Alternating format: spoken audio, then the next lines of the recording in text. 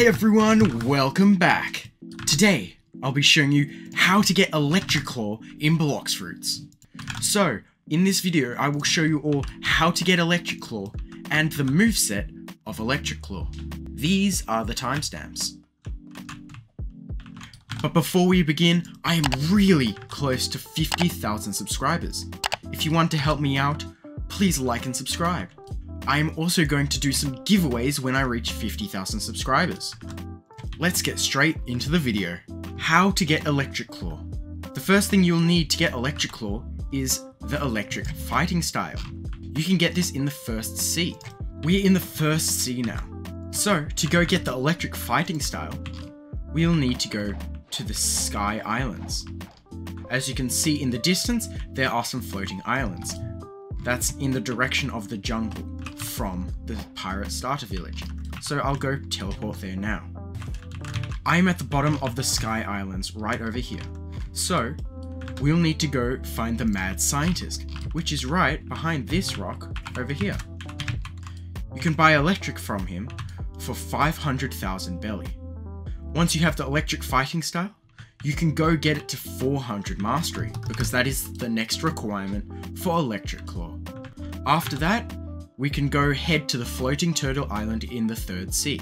I'm at the castle on the sea and from here turtle island is that way and you can also take a portal to get there. You can go through a portal if you have killed the Rip Indra raid boss. So I am now in Floating Turtle Island at the mansion. We will need to find the previous hero. Follow this path starting from mansion. So you go out the frame here, turn right,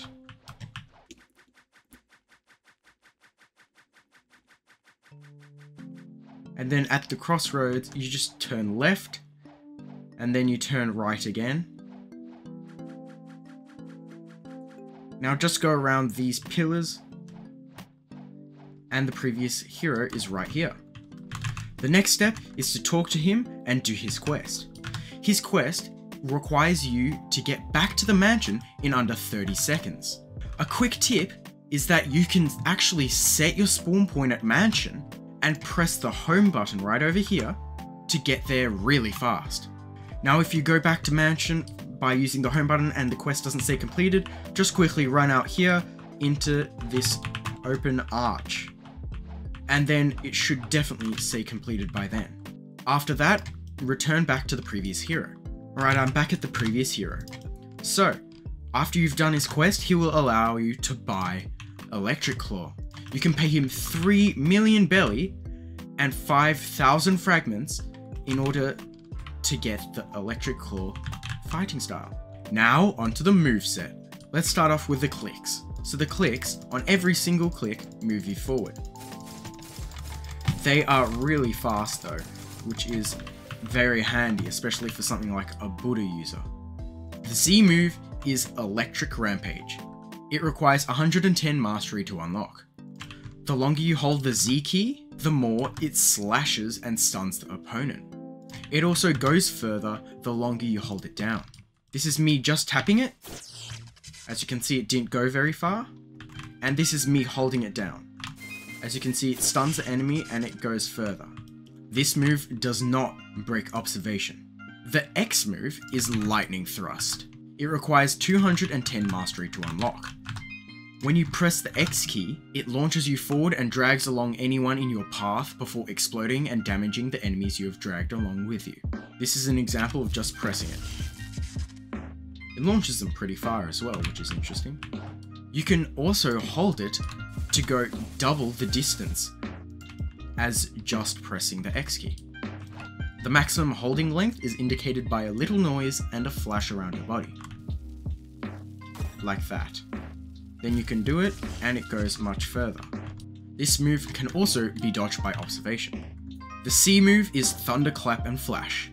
It requires 330 mastery to unlock. When you press the C key, you dash forward really quickly, dragging anyone who gets in your path, before slamming down and damaging the enemies you grab before launching them up a little bit. This move is the only move that breaks observation in the kit. Here is an example of the C move. So, I can put my mouse past them and it takes them along with me and launches them up in the air. You can also miss them a little bit as it has a decently big area of effect. It also makes you go really far down when used in the air.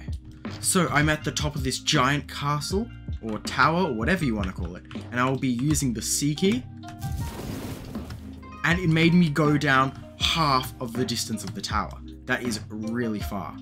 That's basically the length of this tree right here, one of the giant trees. So if you ever want to get down to the ground fast, you just use the C key. Thanks for watching. If you enjoyed or found this video helpful, please like and subscribe. See you all next time.